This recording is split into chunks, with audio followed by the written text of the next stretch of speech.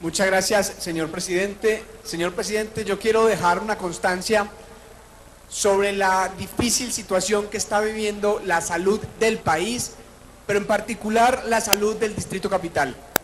El nivel de improvisación de Enrique Peñalosa es inimaginable, al punto que su fusión de hospitales, que no es otra cosa que camuflar la privatización de los hospitales, terminó afectando la red de suministros y no están llegando ni los elementos más básicos para la atención en salud del pueblo capitalino.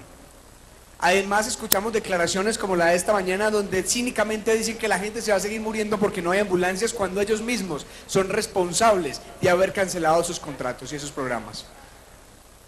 Esto muestra la falta de voluntad que hay para resolver estos problemas y para atender las realidades estructurales de nuestro sistema y sí, la voluntad que hay para mantener la estructura del negocio de este modelo de salud perverso.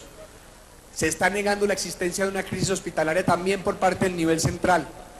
Con preocupación veo como en Antioquia ya la cartera, solo somos 14 más 1, que es la que recoge como los principales hospitales, ya va por más de 1.7 billones de pesos sin ninguna solución. Definitivamente aquí llamo al gobierno nacional y a las distintas entidades a que se toquen el corazón y a que piensen verdaderamente en su pueblo, porque sin salud no hay nada y es lo que estamos dejando por allá relegado y estamos por el contrario pues utilizándolo o están utilizándolo para hacer un negocio perverso. Quiero además, señor presidente, dejar otra constancia por otro tema que me preocupa. yo fui socorrista de la defensa civil por casi seis años. Y ahora un socorrista que entregó su tiempo como voluntario, que se fue con su perro, Roger eh, Casas se llama él, vi hoy en el tiempo y me pude comunicar con él por, por otros medios. Cuando regresó de Ecuador lo habían despedido de su trabajo una persona que se entregó a atender un desastre en el que con los colombianos también nos comprometimos a apoyar. Y pasó esto, y cuando era socorrista nos pasaba todo el tiempo, incumpliendo la ley 1505 y esto no puede seguir ocurriendo. Y por último, señor presidente, para poner también sobre la mesa un hecho que me parece bastante grave, y es la persecución que se está dando por parte de las autoridades de este país al movimiento social a través de la judicialización de sus dirigentes.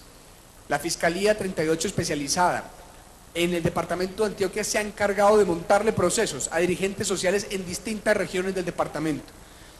Recientemente a Javier Anderson Henao, un líder del Coordinador Nacional Agrario de Anorí, Antioquia, a quien capturaron y lo acusan supuestamente por ser parte, de ser parte del ELN, fundamentados también en unas declaraciones irresponsables de la señora secretaria de Gobierno, donde dice que el ELN está construyendo el plan de desarrollo con la gobernación de Antioquia en la misma mesa.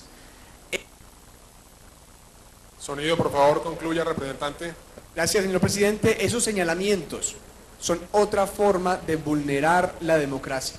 No más, no sigan asociando el movimiento social con la guerrilla como una estrategia para deslegitimar sus justas causas. Gracias, señor presidente. Sonido en la curul del representante Navas Talero.